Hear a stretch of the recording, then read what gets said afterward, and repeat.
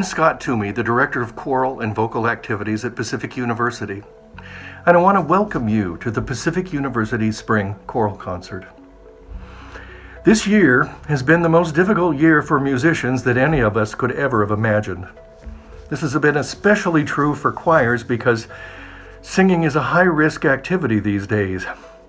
Who knew that singing would be more dangerous than football? With this in mind, we're singing in isolation and uploading vocal parts to be blended together. As one of our singers, Alexis Walker, wisely observed, we don't even know what we sound like. And she was right. We're all missing one of the key benefits that singing together provides community. I'm proud of the singers, faculty, and staff at Pacific in working through this by finding ways to connect and to move forward, to continue to make music, and to try to do some good in the world. There are many people to thank, and they are included at the list at the end of the concert, and I hope I remembered everybody. However, I want to give a special note of thanks to my wonderful colleague, Dr. Sam Barbara, who is the Director of Choral Activities at Portland Community College Rock Creek and who also directs our concert choir at Pacific. It is truly a blessing for me to work with such a great friend.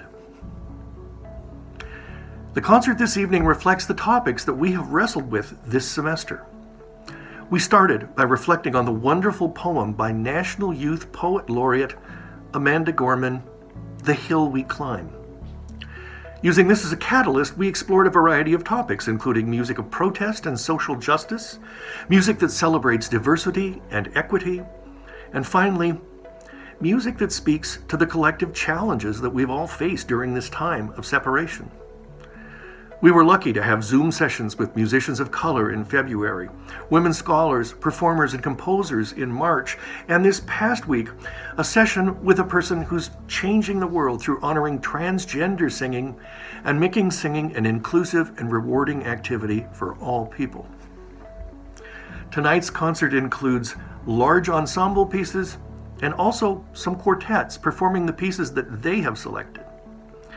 We're also fortunate to have one senior thesis arrangement by Devin Garber that celebrates his final project in music education, and one very special gospel piece at the end by a solo performer.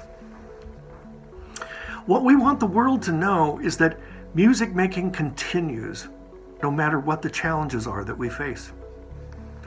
Tonight you'll hear songs of protest, You'll hear spirituals written and arranged by African American composers.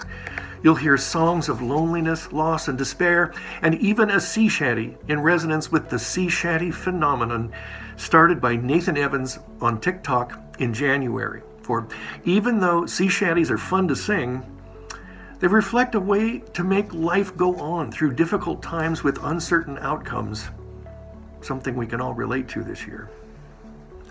Finally, you will hear music of hope for the future and a call to tangible action for all of us to condemn acts of hatred and racism as we look to rebuild a better nation and a better world in the years ahead of us. In the words of Amanda Gorman, and yet the dawn is ours before we knew it. Somehow we do it. Somehow we've weathered and witnessed a nation that isn't broken, but simply unfinished. We hope you enjoy the concert and we send you, all of our friends, families, and colleagues, our love and good wishes.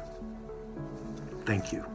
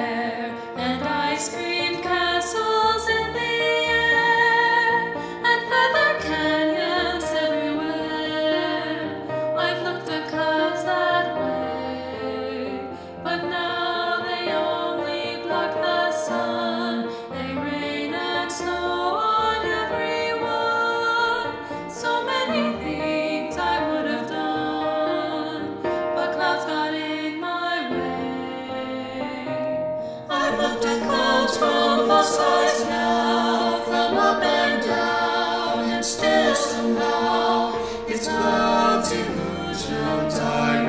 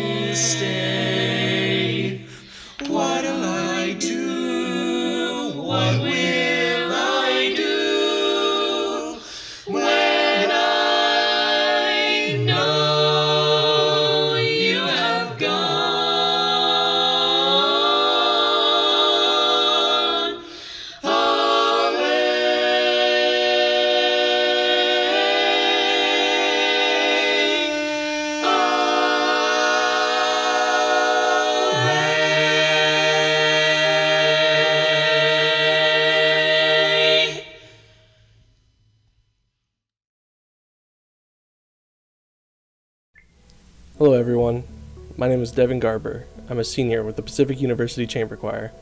I would like to introduce the next piece in this performance, which is an arrangement of mine, Ticket to the Moon, which is originally performed by the Electric Light Orchestra.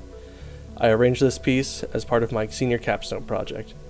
I'd like to give a special shout out to the soloists Car Carter Burnhide and Dwight Collins. Without further ado, here is Ticket to the Moon.